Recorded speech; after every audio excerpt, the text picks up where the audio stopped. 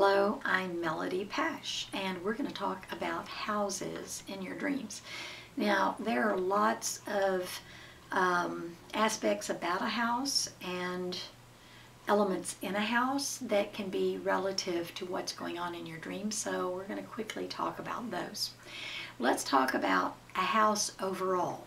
The house can represent at times the life of the dreamer, but it's also fundamentally connected to the generational line or the family line. Remember that in some countries, when they talk about a family line, they call it the house of, right? The house of Jones, the house of Anderson, those, those types of things. So what happens is the house can represent a family line or a generational line, a bloodline. Okay, so it might be about your generational line, it might be about you personally. You'll just have to look at the other elements so that you can figure out what exactly is going to be the best direction to go in your interpretation. Now, let's talk about a house under construction because those are a lot of times in my dreams under construction, whether it's being renovated or it's being built. But being built, a house that's being built is exactly what it sounds like. It's like a system or a life or even a family being constructed or being built. So if it's under construction, it's not quite finished. It's not yet finished. And in the dream, look at what stage the house, the construction of the house is in, and that will tell you some things about whatever the house is relating to in your dream so that you can see how far along that house is. It's a little bit like birthing a baby, right? So let's talk about the foundation. The foundation has to go down first, right? They have to clear a lot. The clearing, they have to make a place for the foundation. The foundation is your foundational belief system, the foundations of the system, the foundation of your life. Think about the framing out or what the construction industry calls sticks. When sticks go up, the framing goes up. That's going to metaphorically relate to the framework of whatever the house represents in your dream, the framework of that, okay? Now, once the framework is up, then you're going to eventually have fully constructed walls.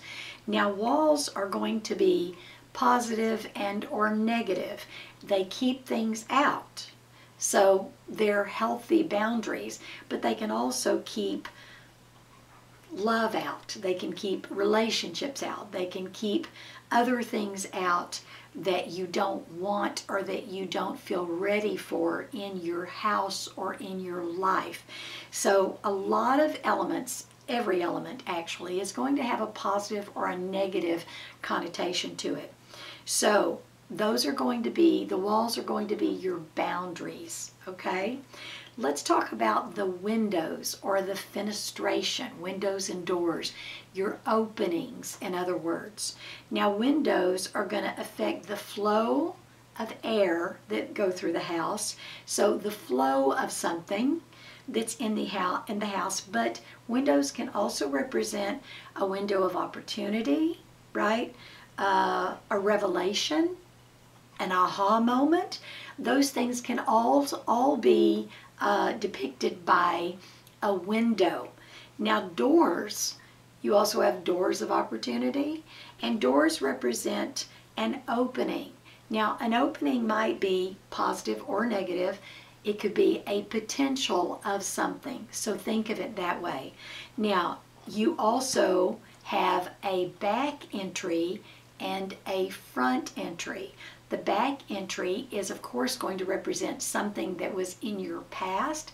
Now that doesn't mean it's not trying to enter now, but it's somehow connected to or related to your past. A front entry is going to be something that's either happening at present in your life or it's coming. It's something that's in the future. It's coming.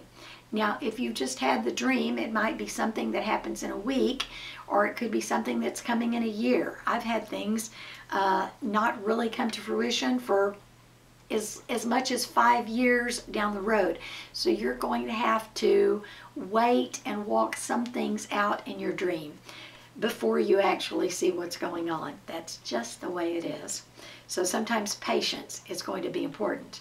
Let's talk about a few other quick elements in the house. You have your windows, you have your doors, those are all openings, right? Positive or negative. So negative things can come in those entrance, those entries, and you're going to have to watch those. But positive things come in those entryways or those openings as well. Let's talk about the ceiling.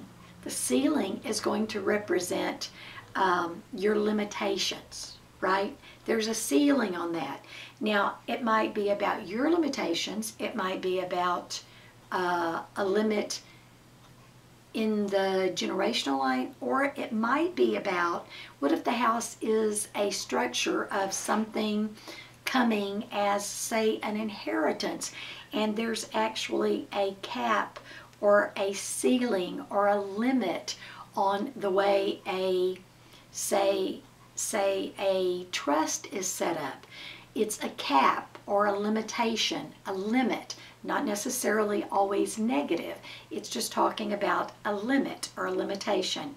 And then you have your roof, which is your covering, the covering of the family line, the covering of a specific structure. That might be the CEO of a company, that might be your boss. Uh, it could be uh, the chair of a um, some some board that you sit upon. So your roof is going to be your covering. It could also be a covering where your religious organization or your affiliation is there. It could be a pastor, it could be the elders, someone who's spiritually covering you, or someone who physically covers you, but it's your covering. So I hope that helps with some elements on house or household, and um, we'll talk about more later. Thanks for watching.